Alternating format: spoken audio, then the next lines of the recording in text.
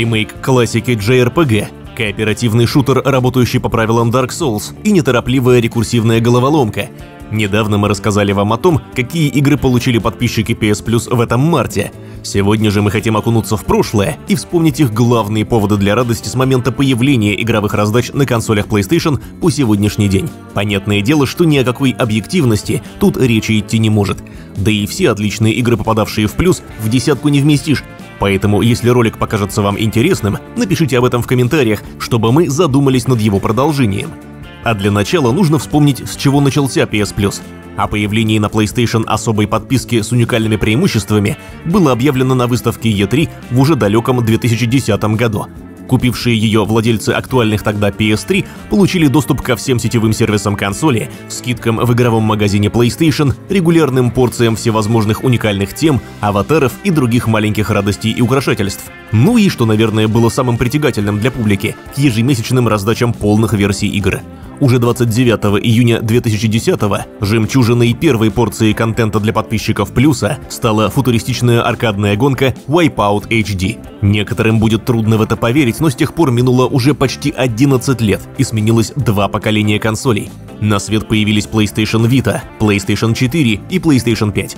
Естественно, каждая из них получала со старта поддержку всех прелестей PS Plus. В чем же они заключаются сегодня? Во-первых, это, конечно же, мультиплеер. И дело тут не просто в самом доступе к сетевым матчам в вашем любимом футбольном симуляторе или к масштабным баталиям очередного Батлфилда. Не стоит забывать о том простом факте, что играя по сети на консолях PlayStation, вы не рискуете на каждом шагу повстречаться с противниками, которые умеют, подобно Супермену, смотреть сквозь кирпичную кладку стен и попадают в глаз едва заспавнившегося игрока с другого конца карты. Мультиплеер тут удобный и, не побоимся этого громкого слова, цивилизованный. Помимо того, как и в 2010-м, владельцев подписки всегда ждут эксклюзивные скидки в PlayStation Store и особые игровые материалы, костюмы, облики, оружие и другие бонусы, которые иначе получить не удастся.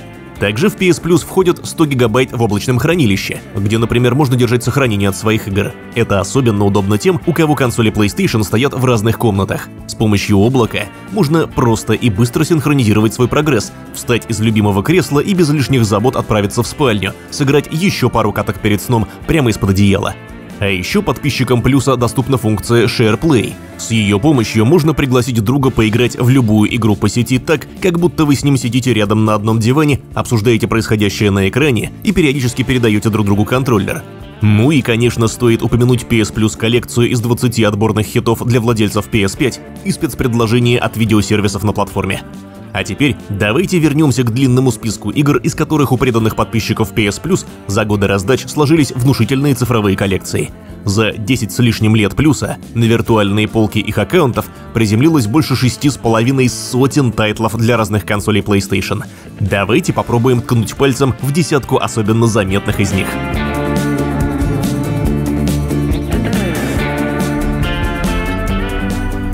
Metal Gear Solid 4 Guns of the Patriots.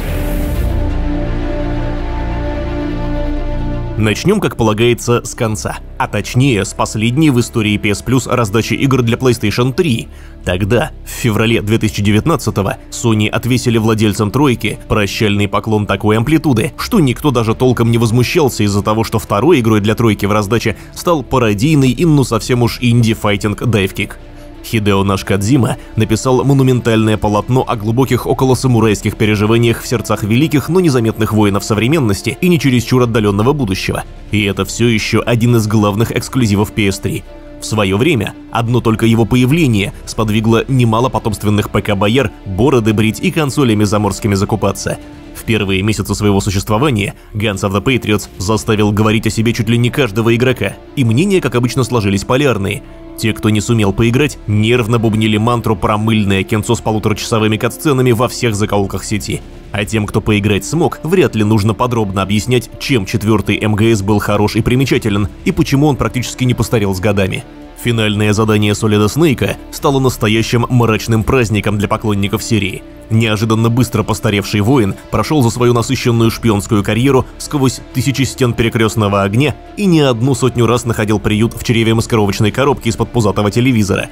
И вот хитрые замыслы могущественных врагов, в именах и мотивах которых мы по-прежнему бесстыдно путаемся, привели его на последнюю, самую жестокую войну в его жизни – а на победу в ней у Солида остались считанные недели, после чего он сам превратится в оружие судного дня, способное уничтожить все человечество. В общем, если у вас сейчас возникло стойкое желание стряхнуть пыль с геймпада старушки-тройки, мы вас прекрасно понимаем. Uncharted 4 «Путь вора». А через год подписчиков PS Plus порадовали еще одной четвертой частью уже совершенно другой по характеру и сути, но оттого не менее легендарной франшизы. Путь вора вернул в мир опасных приключений знаменитого духовного наследника Индианы Джонса и одной острогрудой расхитительницы гробниц. Но старательно пытавшегося вести тихую семейную жизнь Натана Дрейка, как сугроб на голову, обрушился из небытия любимый старший брат, пройдоха Сэм – и к ликованию фанатов серии, великий охотник за сокровищами древности не усидел на месте и пустился во все тяжкие, как полагается, тайком от супруги.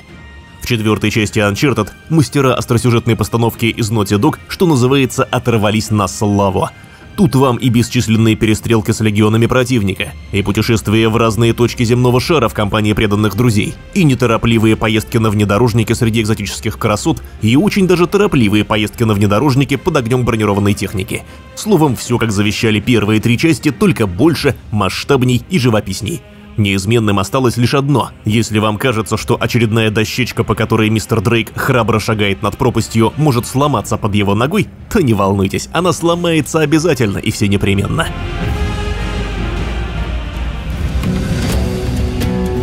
Rise of the Tomb Raider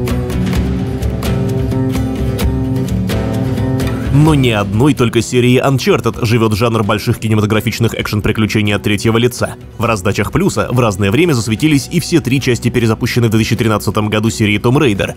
Из них мы отдельно выделим вторую, где Лара Крофт набрала форму, вошла во вкус и отправилась аж в Сибирь на поиски загадочного города Китежа. Естественно, уже в первые минуты игры вместе с горной лавиной летит в пропасть весь изначальный план этой экспедиции, а дальше нас ждет выживание в снегах, плутание по таинственным руинам и козни агентов жуткого общества Тринити. Это местная злодейская организация, в которой очень халтурно работает отдел найма головорезов.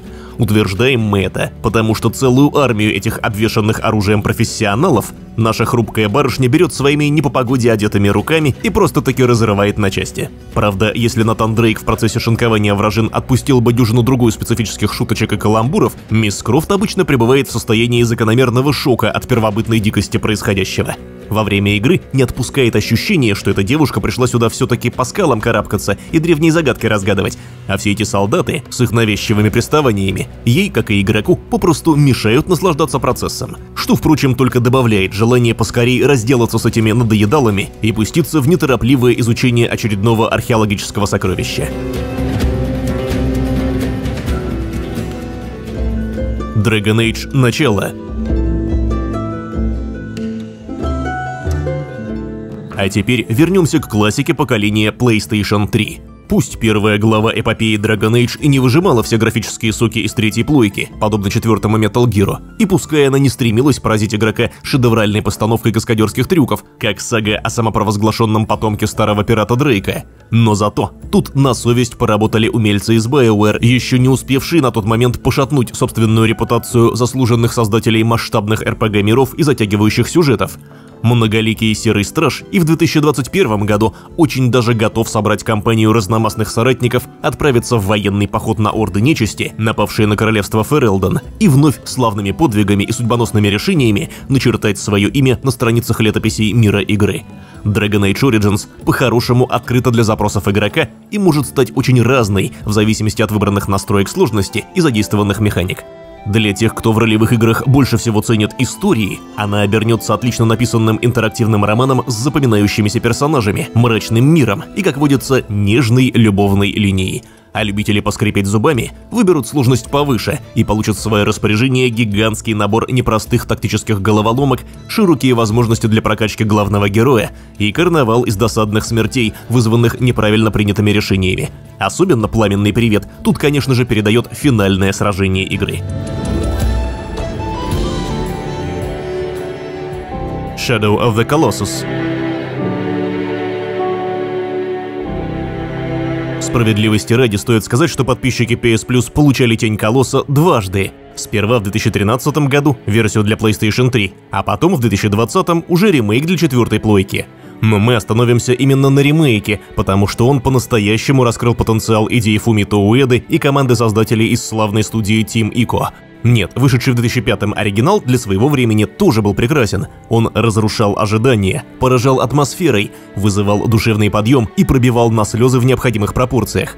Но ремейк не только вышел намного живописней оригинала, что в целом было вполне ожидаемо. Версия для PlayStation 4 еще и дала игроку крайне важный инструмент для погружения в эту трогательную историю – удобное управление главным героем. Его, кстати, тут зовут Вандер, и на момент первых событий игры мы о нем почти ничего не знаем – Знаем, что у него есть верная лошадь и есть девушка, которую он должен спасти, а для этого ему необходимо отыскать в пустынном и безлюдном проклятом краю 16 древних не то чудищ, не то механизмов, зовущихся колоссами. В битвах с этими гигантами и пройдут все 10 или около того часов игры. Колоссов нужно догонять с помощью непарнокопытной подруги. По колоссам можно ползать с риском в любой момент сверзиться озимь. И к победе над каждым из них необходимо отыскать свой ключ, фигурально выражаясь, конечно же. Других противников, как и союзников, в Shadow of the Colossus нет, но они тут и не нужны. Как не нужна играм Фумито Уэды и какая-нибудь встроенная подробная энциклопедия, полная справок о предыстории мира и персонажей и дающая однозначное толкование всем здешним знакам, намекам и событиям. Тень Колосса и без того сполна заряжает эмоциями и переживаниями и способна навсегда поселиться в особом уголке вашей души. Papers, Please Не будем забывать, что в PS Plus регулярно появлялись и игры для последнего на данный момент варианта портативной консоли PlayStation. И давайте уделим должное внимание творению Лукаса Поупа, которому для создания запоминающейся и, пожалуй, уже культовой игры не понадобились ни огромные бюджеты, ни студии с десятками коллег, ни даже все графические возможности PS Vita.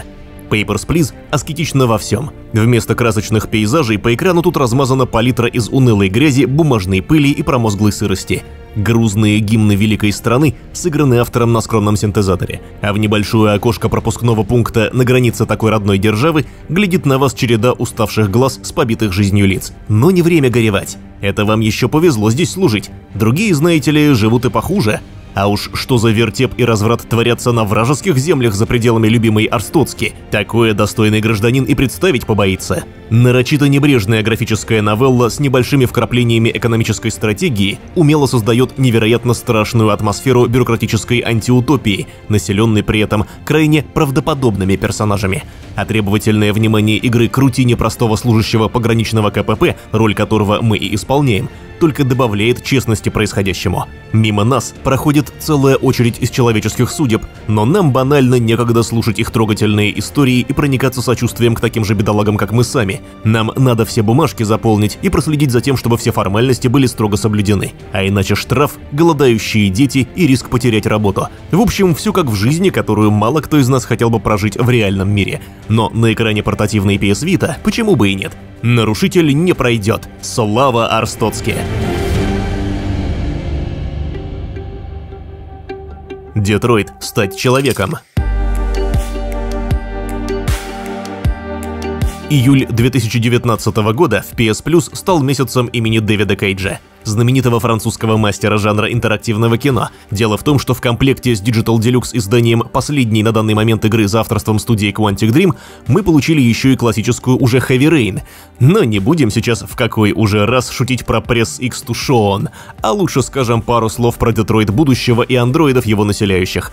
У нас на попечении три главных героя. Все как на подбор синтетические существа с претензиями на тонкую душевную организацию. Кэра, андроид-горничная, пытается спасти маленькую девочку Алису от ее отца, буйного алкоголика и человека, в общем-то, пропащего по всем фронтам. Маркус – андроид-опекун пожилого художника, который в результате стечения обстоятельств снимает с себя все программные ограничения и становится опасным преступником по мудрым законам прогрессивного мира игры. И Коннор – андроид-следователь, который по долгу службы ищет и нейтрализует таких робопреступников, как бедняга Маркус. Сюжетные линии героев сплетаются в раскидистую паутину вероятных исходов, а мы эту паутину можем внимательно изучать, выискивать в ней новые крупицы информации о судьбах персонажей и принимать на их основе те или иные решения на крутых сюжетных поворотах. И именно от нашего выбора напрямую зависит финал этой запутанной истории о том, что значит быть человеком и возможно ли им стать.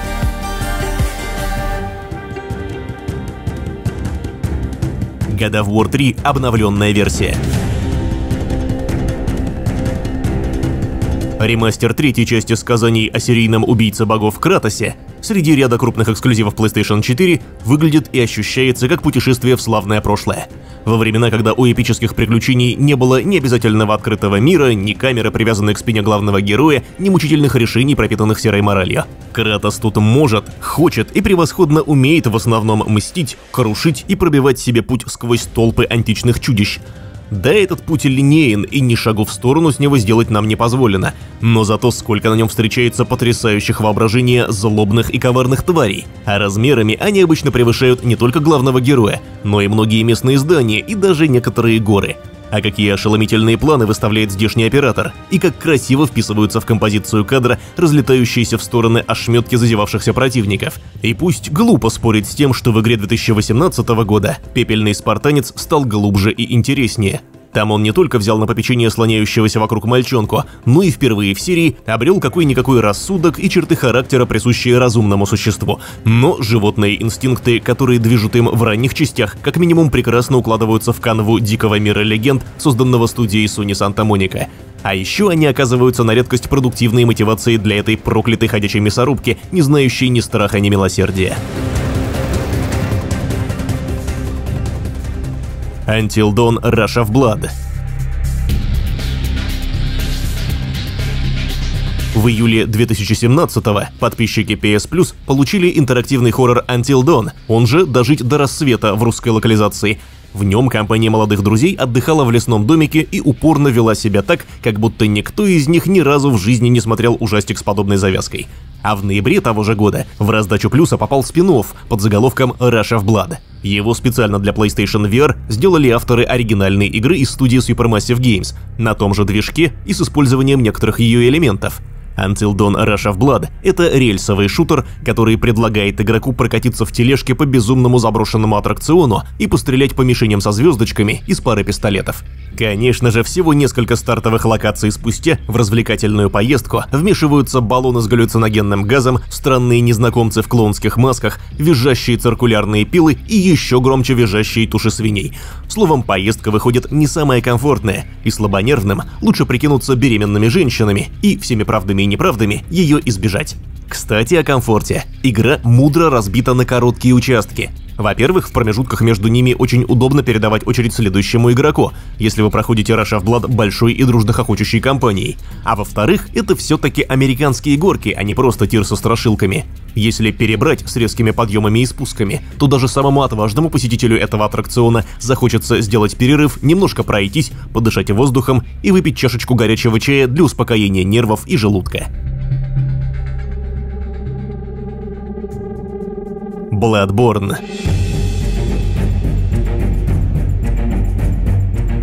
Март 2018 года выдался одним из самых удачных месяцев за всю историю раздач PS Plus. Вместе с бодрым мультяшным экшеном Ratchet Clank подписчики получили, возможно, главный эксклюзив из линейки игр, разработанных специально для PlayStation 4.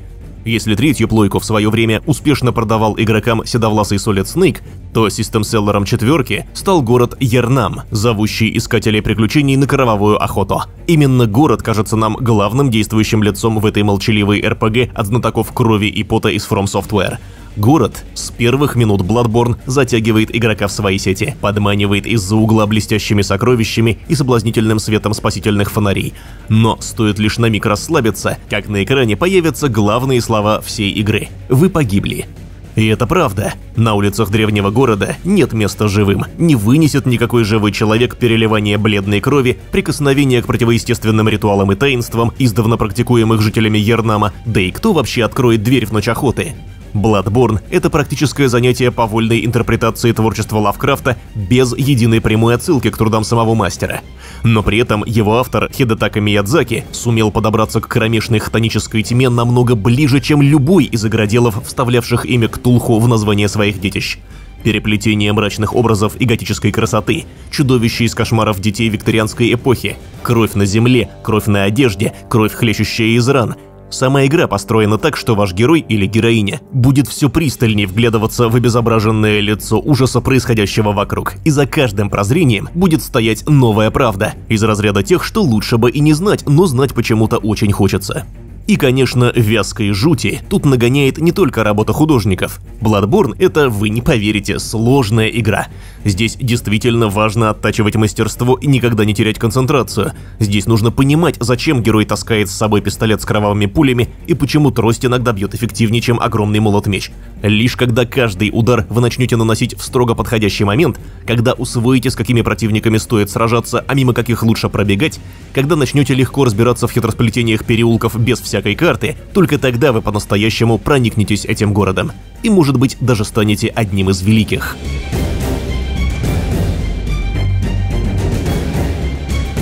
И на этом у нас все на сегодня. Играйте в хорошие игры и до новых встреч на GSTV.